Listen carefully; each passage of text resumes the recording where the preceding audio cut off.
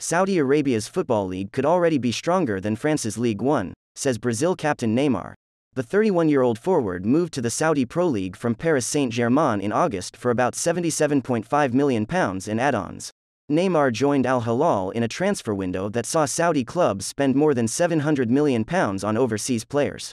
For the names that went to Saudi Arabia, I wouldn't be surprised if the Saudi league is better than the French, he said. Saudi club spending this summer on international transfers was second only to the Premier League, whose team spent just under £1.6 billion on overseas deals, according to figures from football governing body FIFA. While Al Ittihad were unable to prize Mohamed Salah away from Liverpool, Salah's former teammates Jordan Henderson, Roberto Firmino, and Fabinho were among the Premier League players to move to Saudi Arabia. Saudi clubs also lured Neymar's PSG club mate Georginio Wijnaldum, Real Madrid's Ballon d'Or winner Karim Benzema, and Bayern Munich's Sadio Mane.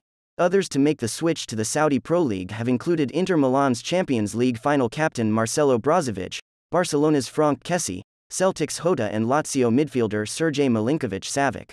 There could have been a new world record transfer too.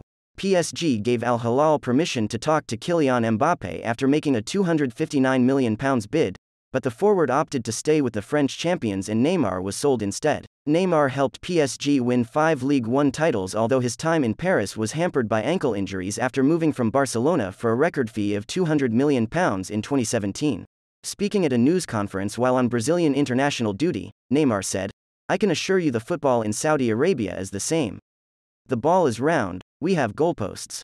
There's no secret. We have intense practice there, the thirst to win is still big. I want to win trophies with Al Hilal. It doesn't change much. Several Premier League managers have criticized the Saudi deadline closing almost a week after Europe's major leagues. Last week, Liverpool boss Jurgen Klopp said the Saudi Pro League feels more like a threat than not. Klopp feels there is a need to protect the game and make sure European leagues stay as strong as they are. Meanwhile, Henderson, who has been a vocal ally of the LGBTQ community, said he was really hurt by criticism of his transfer. His move has been questioned by some LGBTQ campaigners, as same sex sexual activity is illegal in Saudi Arabia.